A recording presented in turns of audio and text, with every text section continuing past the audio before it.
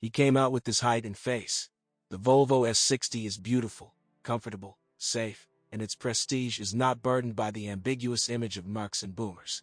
But in the secondary market, 60s are several times less popular than German competitors, Audi A4, BMW, Treshki, or C-Class Mercedes. Maybe it's all about the high cost of operation. What the elderly Volvo S60 requires minimal investment is the bodywork. The old problems with the S60 paint peeling like skin after a sunburn were over. By the time the model debuted in 2000, the technology for applying environmentally friendly water-soluble dyes had already been worked out. High-quality double-sided galvanized metal does not turn into a sieve even after 10 years of Russian life. If corrosion appears, it is only after careless body repairs. The electrics of the 60 was built according to the Swedes, just mastered at that time. By the way, one of the first in the world, a scheme with multiplex wiring based on the CAN bus. Failures in the operation of numerous blocks, sensors, and actuators happen surprisingly infrequently. For example, due to automation errors during parking, the battery can sit down, and on cars from the first batches, the ABS unit often failed.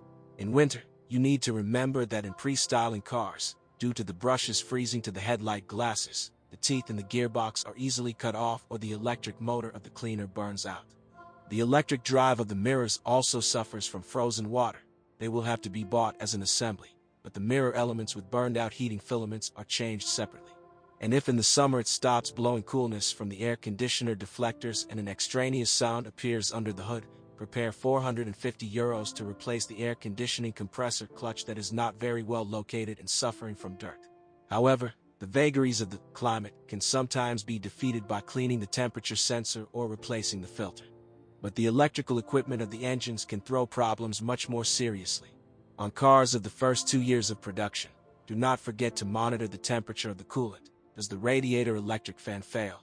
Can the fuel level sensor power And the airflow meter and the fuel pump do not even work out 100,000 kilometers.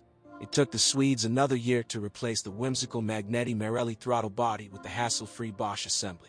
A gentle Italian with a frail electric drive motor does not tolerate the presence of even a minimum amount of tar, sometimes turning off the engine to release gas even from caring owners, who, on the advice of dealers, washed it every 30,000 kilometers with a special Volvo cleaner fluid. In addition, an expensive Italian node often fails due to the fault of the built-in control unit, and, alas, is not interchangeable with the more reliable German one. More often, at least once every 30 to 40,000 kilometers, on all gasoline engines, it is better to wash the control valve of the continuously variable valve timing CVVT system with the same proprietary fluid. Otherwise, diesel rattling will begin to be heard from under the valve cover, and at high speeds, the engine will noticeably lose power. By the way, the Swedish designers abandoned hydraulic gap compensators in the valve mechanism, and they did not fail. Valve adjustment by selecting pushers is rarely required before 200,000 kilometers. Along with the revision of the CVVT valve, check the crankcase ventilation system for patency.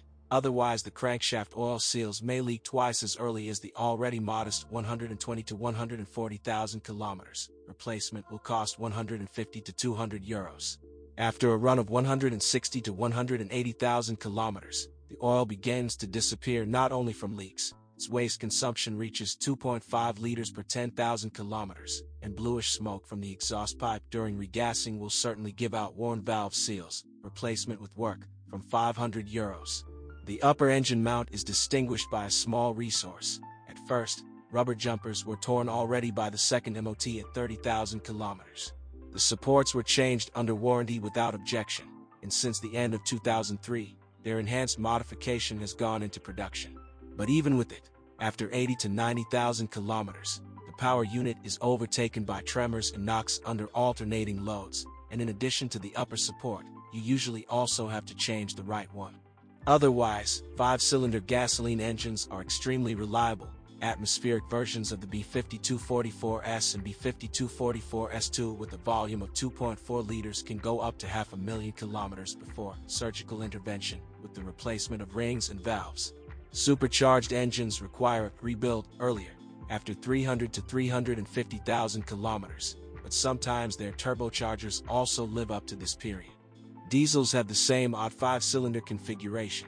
Interestingly, until the end of 2002, Volvo used 10-valve Audi AEL engines, designated D5252T, and then engines of their own design of the D5244T series with 4 valves per cylinder and 3 degrees of boost, 130 horsepower, 163 horsepower, and 185 horsepower.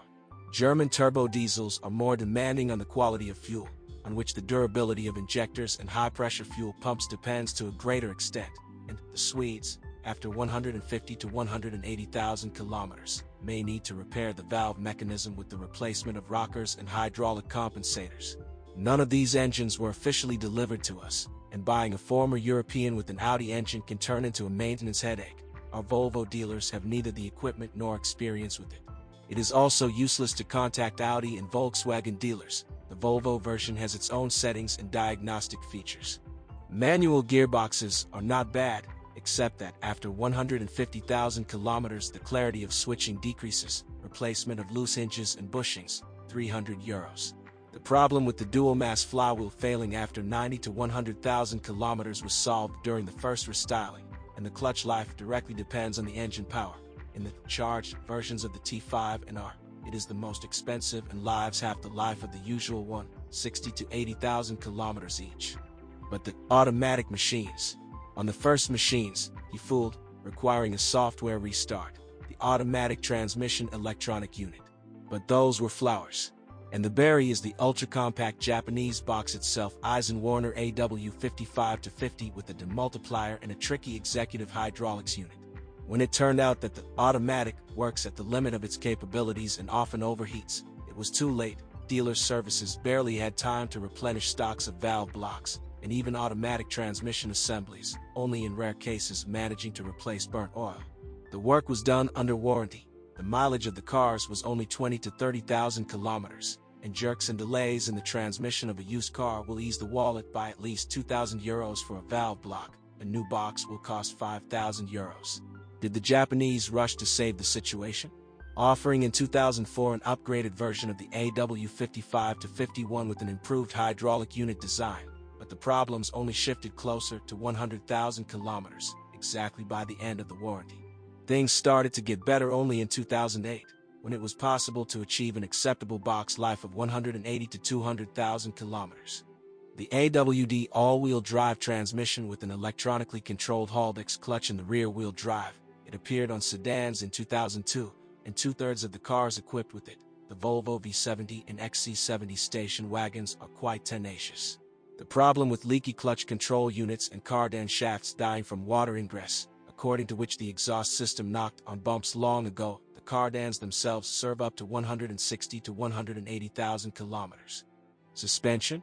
It would seem that there shouldn't be any problems with it at all. The Volvo S60 is built on a common platform with the heavier flagship S80. But not everything is smooth here either. The front McPherson just fell apart in the first years. Only after modernization twice as much as the previous 30 to 50,000 kilometers began to repair the stabilizer struts, and the resource of ball bearings and silent blocks increased from 60 to 80 to 100 to 150,000 kilometers.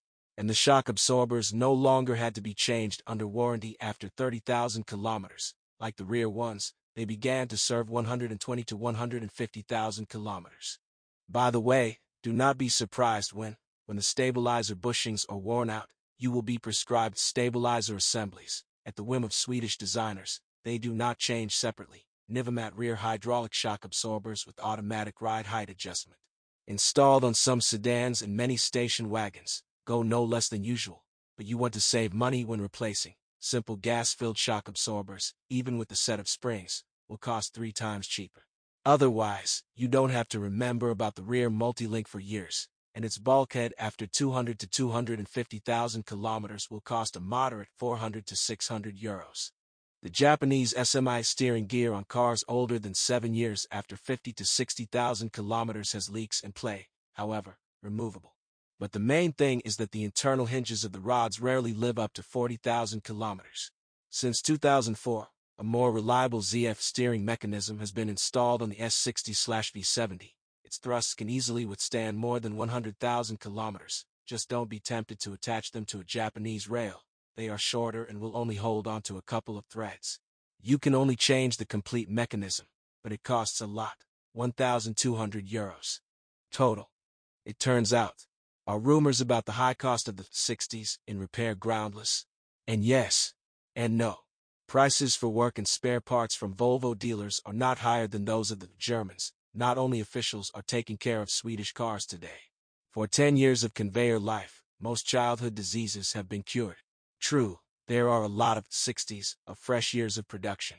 But still, it is at least 100 to 150,000 rubles cheaper than similarly reliable classmates of the BMW, Mercedes, and Audi brands.